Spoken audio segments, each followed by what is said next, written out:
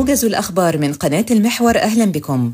نفى المركز الإعلامي لمجلس الوزراء ما تردد بشأن تقليص المخصصات المالية لقطاع الصحة بالموازنة العامة الجديدة مما يهدد بإلغاء العلاج على نفقة الدولة. من جانبها أكدت وزارة المالية زيادة المخصصات المالية للقطاع الصحي بالموازنة الجديدة لتصل إلى نحو 496 مليار جنيه مقارنة ب 397 مليار جنيه خلال العام المالي الماضي مع استمرار تنفيذ قرارات العلاج على نفقة الدولة دون إلغاء.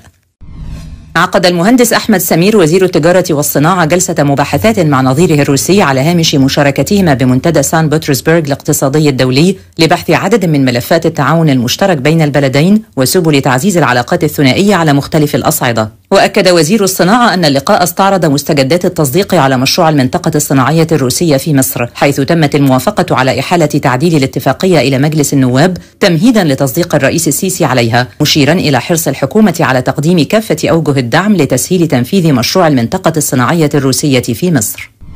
عقدت الدكتورة رانيا المشاط وزيرة التعاون الدولي اجتماعا مع وزير النقل والتنمية الرقمية الآذري لبحث ترتيبات انعقاد الدورة السادسة من اللجنة المشتركة المصرية الآذرية للتعاون الاقتصادي والعلمي والفني. ووافق الجانبان على قيام الوزارتين بمتابعة تنفيذ مجالات التعاون التي تم الاتفاق عليها أثناء الزيارة لتحويل التعهدات إلى نتائج حقيقية على أرض الواقع. هذا بالإضافة إلى إنهاء التفاوض على مختلف مشروعات الوثائق المقترحة بين الجانبين المصري والآذري.